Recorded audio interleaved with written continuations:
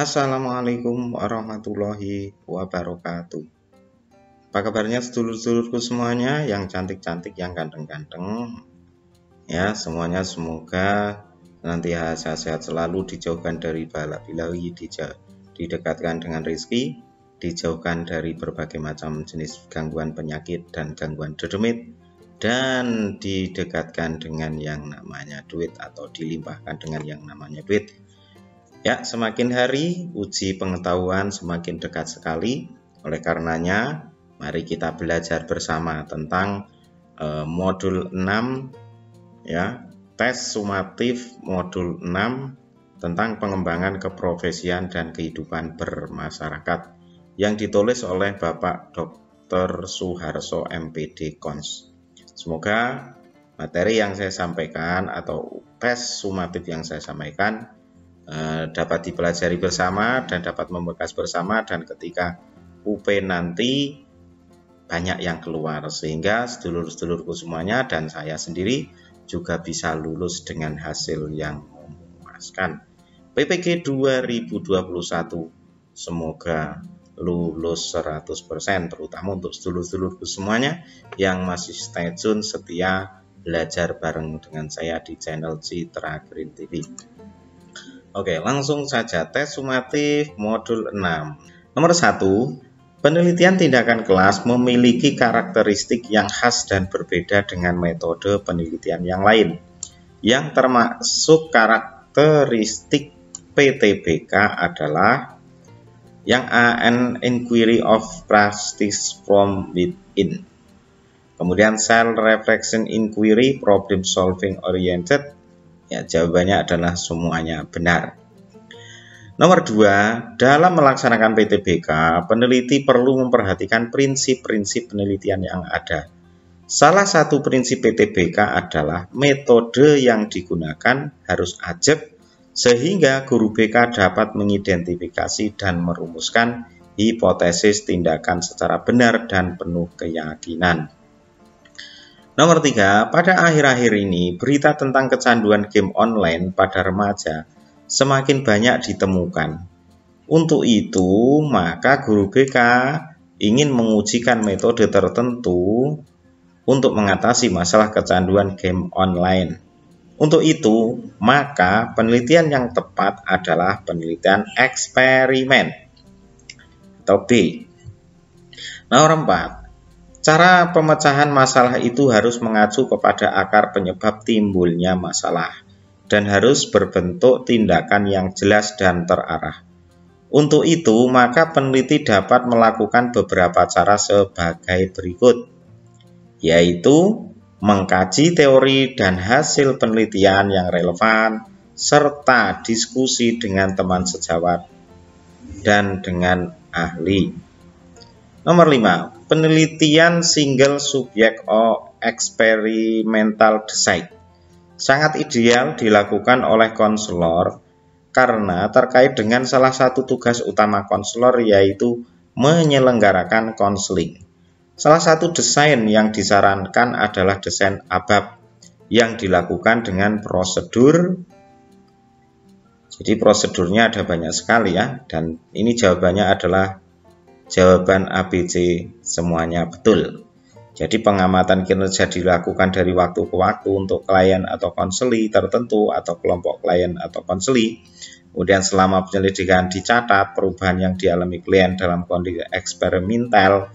Kemudian membandingkan efek dari intervensi dengan kondisi awal tahap A ketika belum ada intervensi yang dijalankan dengan kondisi intervensi fase B. Jadi jawabannya adalah semuanya benar terkait dengan nomor 5 penelitian single subject experimental desain sangat ideal dilakukan oleh konselor. Jadi desain yang disarankan dari ABAP ini. Nomor 6, salah satu penentu keberhasilan PTBK.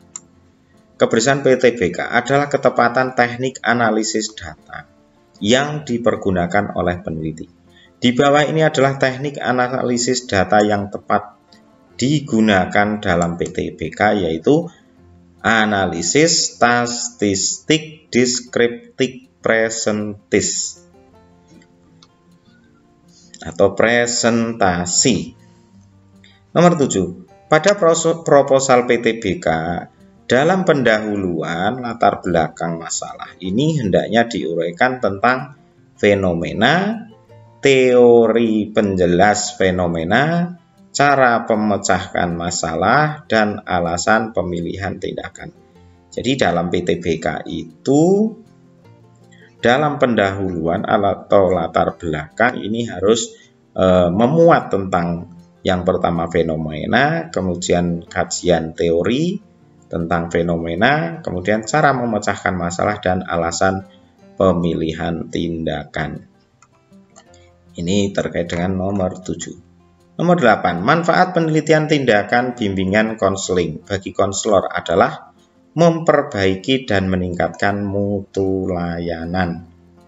Ya, kalau memperoleh angka kredit untuk kenaikan pangkat ini jelas bagi Bapak Ibu PNS ya namun bagi yang belum PNS ya ini salah satu uh, ini manfaat yang terbesar dalam PTBK ini sebenarnya adalah untuk mengetahui dan juga memperbaiki untuk meningkatkan mutu layanan. Nomor 9, guru BK atau konselor merasakan bimbingan klasikal yang diberikan tidak berjalan seperti yang direncanakan terutama dari respon, kegairahan, dan antusias peserta didik mengikuti layanan. Guru BK atau konselor akan melakukan penelitian. Jenis penelitian yang tepat terkait dengan e, bimbingan yang diberikan kepada siswa, terutama respon, kegairahan, dan antusias peserta didik dalam layanan adalah penelitian tindakan atau PTBK. Nomor 10, pada akhir presentasi, seorang presenter mengajak audien untuk melakukan action, membuat pilihan dan mengambil keputusan. Tindakan presenter tersebut termasuk dalam eh, tahap penutupan presentasi yang tepat. Nomor 11, komponen-komponen dalam proposal PTBK, Penelitian Bimbingan dan Konseling, adalah berisi tentang judul, latar belakang, rumusan masalah, atau pertanyaan penelitian, tujuan penelitian, manfaat penelitian, kerangka konseptual atau kajian pustaka, hipotesis tindakan, dan metode penelitian. Ini urut-urutannya. Kalau yang B ini kan hampir sama ada judul, latar belakang, rumusan masalah pertanyaan penelitian, kemudian ini tujuan penelitian, manfaat penelitian, kerangka konseptual atau kajian pustaka. Nah, kemudian di sini ada hipotesis tindakan dan anggaran. Nah, ini yang tidak termasuk adalah di sini. Ya. Memang sebenarnya anggaran itu ya ada, tetapi kan tidak perlu masuk ke dalam ini. Jadi metode penelitian. Jadi untuk anggaran ini tidak perlu dimunculkan dalam PTBK. Kemudian yang C ini hipotesis dan alokasi waktu. Ini alokasi waktu itu kan sebenarnya sudah bisa kita munculkan pada latar belakang. Ini pada latar belakang atau pada rumusan masalah. Kemudian terkait dengan pihak-pihak yang dilibatkan, ini bisa kita masukkan dalam latar belakang. Oke, nomor 12, menulis kenyataan yang ada, menulis harapan yang dituju, menulis kondisi akhir yang diharapkan, dalam menyusun proposal penelitian tindakan, bimbingan termasuk komponen latar belakang.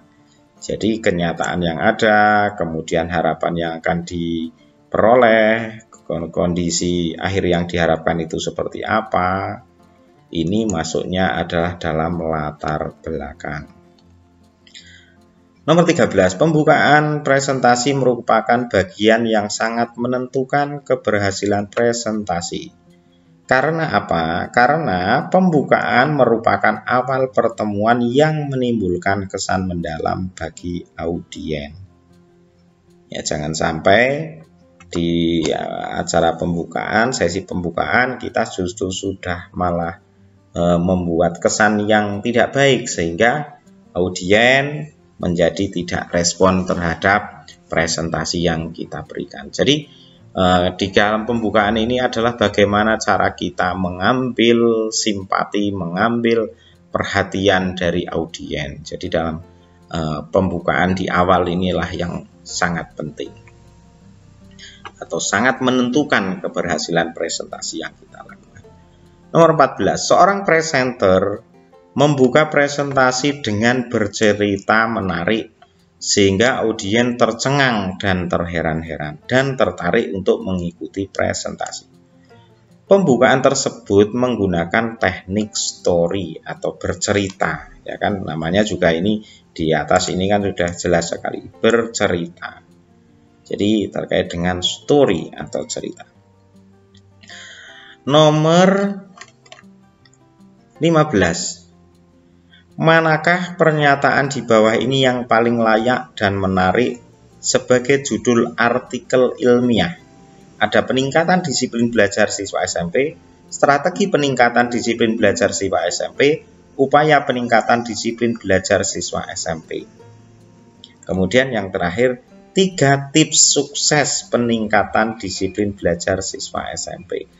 Yang namanya judul ini sebenarnya hampir-hampir semuanya nampaknya penting ya tetapi kenapa kuncinya di sini ada D? Karena di sini kuncinya, sedulur-sedulur semuanya. Di tiga tips ini, tiga tips sukses. Karena apa? Ini adalah untuk menulis judul artikel ilmiah. Ya, sehingga apa? Dengan harapan dari judul yang kita berikan ini akan menarik bagi pembaca untuk mau membaca artikel yang kita kirimkan dalam jurnal. Jadi, tiga tips sukses peningkatan disiplin belajar siswa SMP. Nomor 16, artikel ilmiah pada hakikatnya harus mengandung unsur-unsur pokok yang meliputi karya tulis, berisi fakta dan gagasan ilmiah, sistematis dimuat dalam sebuah jurnal atau media lainnya. Ya, jadi artikel ilmiah ini hakikatnya harus mengundung unsur pokok yang meliputi ini. Jadi yang pertama adalah karya tulis, berisi fakta dan gagasan ilmiah, sistematis dimuat dalam sebuah jurnal atau media lainnya. Yang paling besar poinnya ya di, di jurnal baik jurnal nasional maupun internasional, terutama jurnal yang sudah terakreditasi. Nomor 17, peningkatan motivasi belajar menggunakan token ekonomi pada siswa SMP merupakan judul artikel dalam bentuk bisa artikel konseptual maupun hasil penelitian. Jadi kedua-duanya tidak hanya uh, artikel konseptual. Nomor 18, penjelasan teori atau konsep yang melandasi penulisan sebuah artikel diuraikan pada bagian pendahuluan. Di penjelasan teori dan konsep yang melandasi penulisan sebuah artikel ini di bagian pendahuluan. Nomor 19, guru BK perlu mengembangkan layanannya sesuai dengan perkembangan zaman. Salah satu bentuk pengembangan layanan BK adalah berbasis ICT, yaitu konseling online. Berikut ini alasan yang paling tepat bagi guru BK untuk melaksanakan konseling online. Alasan yang paling tepat. Yang bahwa alasan yang paling tepat adalah mempromosikan bahwa konseling bersifat praktis dan menyenangkan. Ya, jadi konseling itu bersifat praktis dan menyenangkan, tidak bersifat ribet, kemudian juga menyebalkan itu tidak. Kalau memudahkan guru BK karena tidak perlu datang ke sekolah ini ya sebenarnya eh, apa namanya bukan alasan yang tepat. Meskipun ini betul, artinya bahwa ketika kita melaksanakan konseling online itu kita tidak perlu datang ke sekolah. Namun hal ini tidak perlu kita uraikan. Kemudian memanfaatkan fasilitas sekolah agar tidak kalah dengan guru mata pelajaran. Ini juga bisa dikatakan betul namun kurang tepat. Karena apa? Ada istilah agar tidak kalah di sini. Jadi seolah-olah ini adalah sebuah kompetisi. Sebenarnya ini padahal bukan sebuah kompetisi. Kemudian memantau aktivitas siswa dalam dunia maya melalui berbagai sosial media. Ini tidak eh, tidak sepenuhnya karena memang Eh, sebenarnya sebagai guru BK ini kita memang bisa harus mem bisa memantau uh, siswa-siswinya atau konselinya melalui media sosial. Baik itu WhatsApp kemudian Facebook uh, mungkin YouTube dan lain sebagainya. Namun hal ini tidak perlu diuraikan karena uh, itu adalah bersifat uh, apa namanya umum ya. Jadi pada intinya, alasan yang paling tepat mengapa guru BK perlu mengembangkan layanan sesuai dengan pengembangan zaman, salah satu bentuk pengembangan di dalam ICT ini adalah alasan yang paling tepat adalah mempromosikan bahwa konseling bersifat praktis dan menyenangkan. Nomor 20, konseling online atau cyber konseling merupakan salah satu bentuk pengembangan layanan konseling yang relevan dengan kemajuan teknologi. Berikut ini yang bukan merupakan konsep dari konseling online yaitu uh, yang bukan ya, yang bukan. Jadi kalau yang bukan itu nah ini perlu kita jinglengi ini ya. Jadi kalau yang bukan ini adalah memiliki pendekatan dan teknik khusus yang berbeda dengan konseling tatap muka. Kenapa ini masuk yang bukan? Karena sebenarnya pendekatan dan teknik yang diberikan menggunakan konseling online pun kita harus menggunakan pendekatan yang teorinya bisa dikatakan sama dengan konseling tatap muka. Nah, kemudian nomor 21 terdapat dua jenis layanan cyberkonseling yaitu asinkronus dan sinkronus. Kelebihan menggunakan sinkronus dibanding asinkronus adalah guru BK dapat memperhatikan bahasa nonverbal siswa. Namun demikian, kelemahan dari sinkronus adalah membutuhkan jaringan yang kuat agar komunikasi tidak terhambat. Kalau jaringannya tidak kuat, sudah dipastikan saat kita sinkronus kepada siswa, kita tidak bisa memperhatikan eh, bahasa nonverbal yang dilakukan oleh siswa. Makanya ketika melaksanakan cyber counseling ini diharapkan kan eh, konselingnya itu untuk selalu menghidupkan kamera.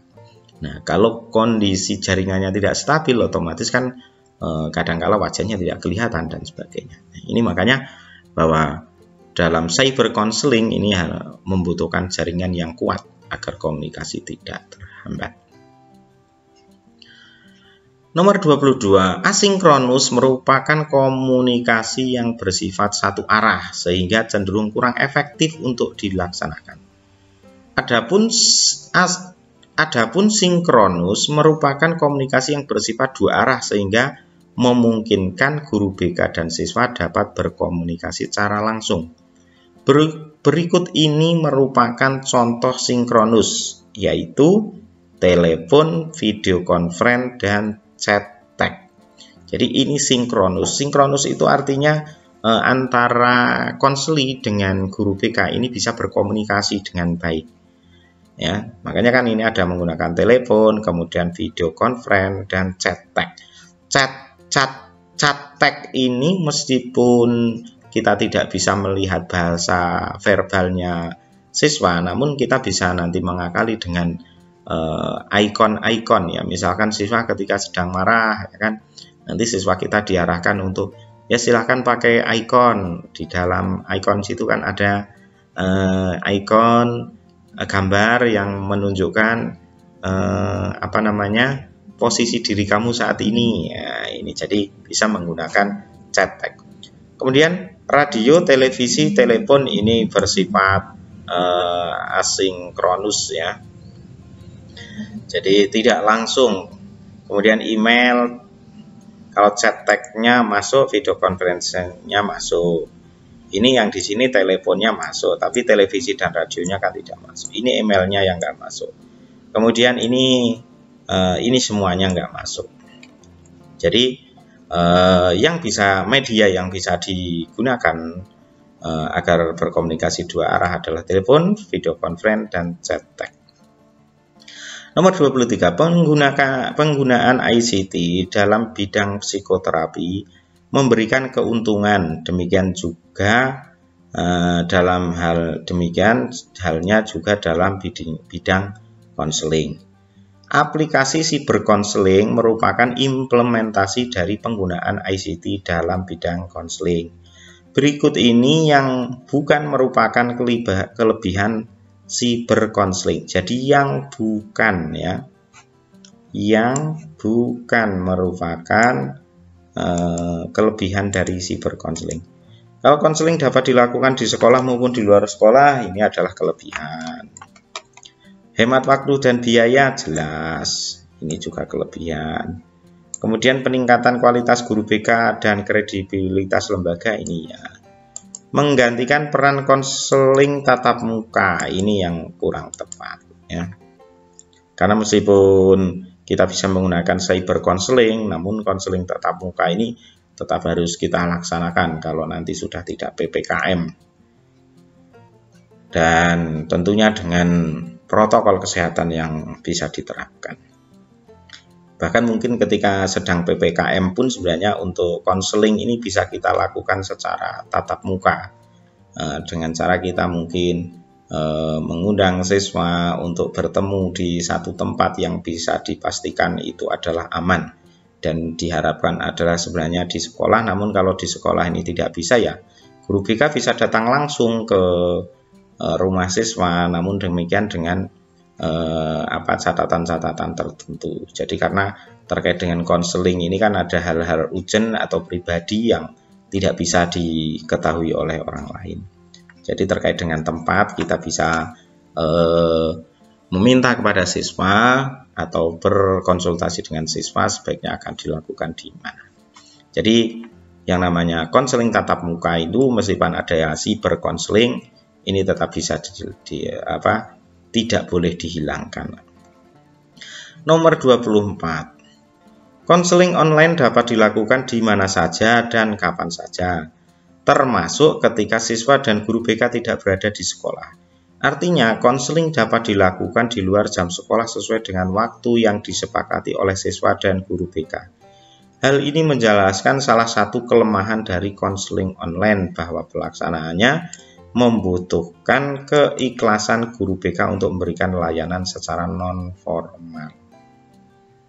Karena apa? Ini sudah di luar jam kelas ya. atau di luar jam sekolah. Jadi eh, ini membutuhkan keikhlasan dari guru BK dalam memberikan layanan secara non formal. Nomor 25. Salah satu kelemahan dari konseling online adalah adanya kemungkinan siswa memanfaatkan fasilitas internet untuk tindakan negatif. Menyiasati kelemahan tersebut, upaya yang, upaya yang dapat dilakukan oleh guru BK adalah mencegah dengan membekali siswa melalui pendidikan karakter dan budi pekerti luhur. Ya, jadi kita bisa menyiasati kelemahan terkait dengan penggunaan internet secara tidak benar. Nomor 26, seorang guru BK telah melakukan PTBK di sekolah tentang layanan klasikal.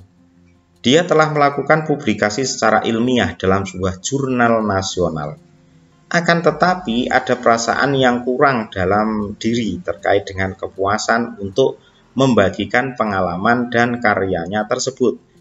Media yang bisa dipilih untuk melakukan hal itu adalah membuat video, praktik layanan yang dilakukan agar dapat diunggah di YouTube dan di jadikan pembelajaran bagi semua orang. Jadi dengan kita mempublikasikan di YouTube ini dapat dilihat oleh banyak orang, kemudian dan dengan harapan juga bisa e, bermanfaat bagi banyak orang. Nomor 27, kadangkala kita merasa bahwa hampir semua media, sosial cocok untuk digunakan sebagai sarana dalam memberikan informasi atau konten tentang studi lanjut. Akan tetapi, tak jarang pula kita salah untuk dalam memilih media. Contoh media yang kurang cocok untuk kepentingan informatif adalah LinkedIn. Ya, Karena LinkedIn ini media yang digunakan dalam rangka untuk mencari pekerjaan. Jadi eh, kalau Instagram ini kan media sosial yang bisa kita gunakan untuk sarana memberikan informasi eh, terkait dengan layanan. Web, web dan blog juga sama, YouTube juga begitu juga. Namun kalau LinkedIn ini lebih fokus pada pencarian pekerjaan atau lowongan pekerjaan. Nomor 28, seorang guru BK diharapkan pada situasi di mana harus mengembangkan konten-konten layanan yang berbasis website untuk memenuhi kebutuhan siswa sebagaimana program sekolah. Bentuk konten yang kurang cocok untuk dimasukkan dalam hal ini adalah eh, layanan konseling berbasis online. Jadi, nah, kenapa layanan konseling berbasis online ini uh, kurang cocok untuk dimasukkan dalam eh, konten-konten uh, layanan berbasis online? Karena apa? Terkait dengan konseling ini kan sebenarnya uh, terkait dengan masalah pribadi yang dihadapi oleh konseli, sehingga semua permasalahan yang dibicarakan di dalam konseling ini adalah bersifat rahasia. Jadi yang bisa boleh mengetahui hanya konseli dan konselor. Kalau konseling kelompok ya sama, ini hanya anggota konseling dan konselor. Nomor 29. Saat melaksanakan layanan bimbingan kelompok menggunakan media grup chat dalam aplikasi media messenger, seorang konselor mengalami kendala dalam proses menanggapi dan mengatur respon yang diberikan oleh anggota kelompok. Dikarenakan kecepatan respon dan koneksi yang berbeda pada beda-beda pada setiap kelompok serta PK sendiri. Hal ini, hal yang dapat dilakukan untuk mengatasi kendala ini adalah eh, dengan cara memberikan aturan atau kesepakatan tambahan tentang jalur komunikasi yang dilakukan dalam layanan. Jadi dalam memberikan uh, layanan menggunakan grup media chat, ini kita harus memberikan batasan-batasan, misalkan uh, dan juga membuat kesepakatan.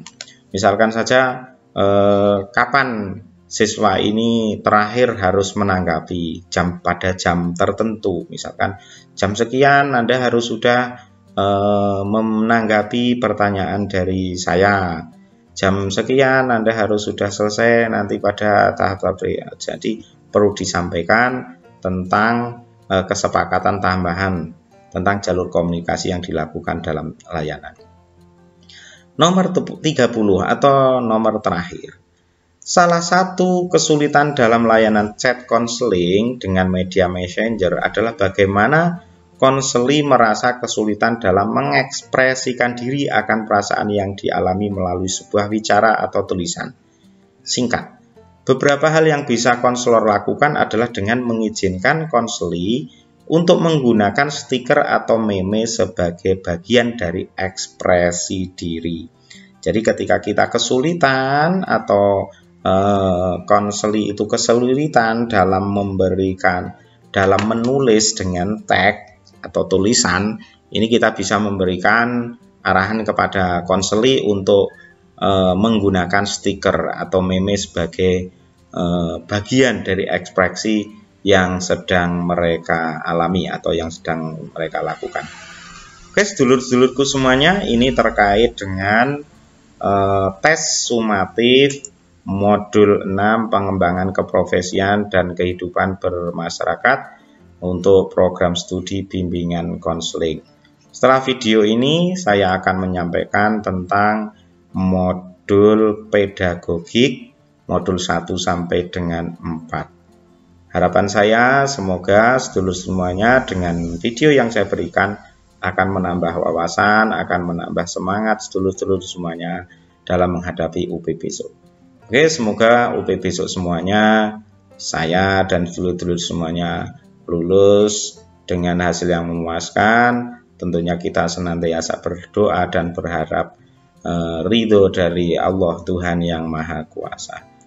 Ada kurangnya mohon maaf dan jangan lupa bagi dulur-dulur semuanya yang berkenan silahkan untuk memberikan like, komen, dan yang belum subscribe untuk subscribe kalau misalkan menurut sedulur semua video ini uh, bisa bermanfaat untuk teman atau sedulur-sedulur yang lainnya silahkan boleh di share dan kalau ada kesalahan saya dalam memberikan uh, video ini silahkan sedulur-sedulur semuanya bisa memberikan masukan melalui kolom komentar. Terima kasih. Wassalamualaikum warahmatullahi wabarakatuh